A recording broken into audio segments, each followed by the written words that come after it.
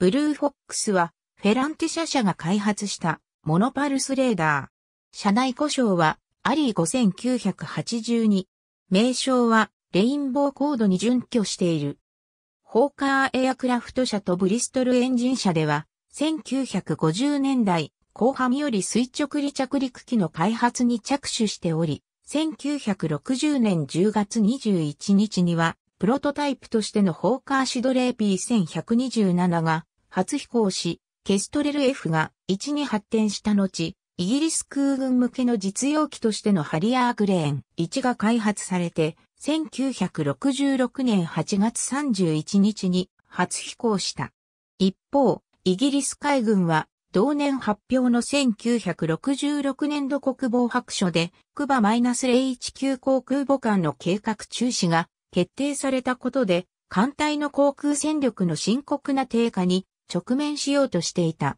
ハリアーは従来の艦上機と比べると、航続距離や並走搭載量で劣る点が多かったものの、ツ -95 ベアのような洋上哨戒機に対する洋撃機としては有望と考えられた。1969年、デビッド・オーエン海軍担当政務次官は、ハリアーを新しい対戦巡洋艦からも運用するように提言しており、この時点では採択されなかったものの、これに応じて、ホーカーシドレー社では艦上型ハリアーの設計を準備した。そして、対戦巡洋艦が全通艦板巡洋艦に発展するのに伴い、これに搭載する艦上戦闘機としてハリアーを元にしたシーハリアー FRS-1 が開発されることになった。空軍のハリアーは基本的には昼間攻撃機として運用されており、アビオニクスは比較的簡素なもので、レーダーも備えていなかったのに対し、このシーハリアーは外洋域で敵の長距離偵察機や爆撃機の劇場に当たることになっていたことから、全天候性能の必要上、火器管制レーダーの装備は必須とされていた。この要請に応じて開発されたのが本機である。1973年3月に研究、予備設計が発注されて、開発が開始された。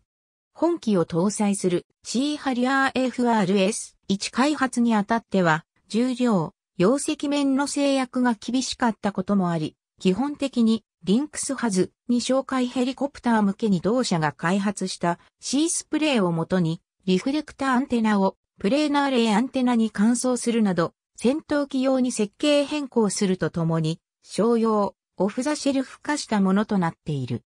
中から高高度対空操作及び対水上操作、対地マッピング能力を備えているが、ルックダウン能力と TWS 能力は備えていない。また C スプレーの周波数アジリティ機能は踏襲されたものの、パルスドップラー処理には対応しておらず、クラッター抑制も不十分であった。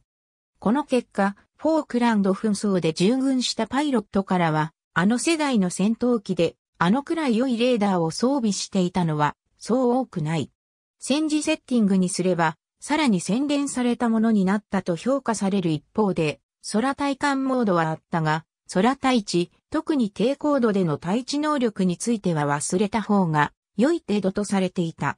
動作モードとしては、創作、攻撃、ボアサイト、トランスポンダーの4モードを持つ。平均故障間隔は120時間であった。1984年には、プロセッサや受信機の性能を向上させた改良型が配備に入った。1982年のフォークランド紛争の戦訓を受けて、1984年より、同社では、シーハリアー向けのパルスドップラーレーダーとして、ブルービクセンの開発に着手した。そして、その配備までの微方策として、同機の開発過程で得られた技術などを本機にバックフィットした全身的な改良型である、ブルーフォックスマーク2が開発された。その後、ブルービクセンの完成を受けて、マーク2回収の直後より、ブルーフォックスは順次に運用を終了した。上記のような新技術の漏洩を防ぐため、廃棄されるブルーフォックスは念入りに破壊された。ありがとうございます。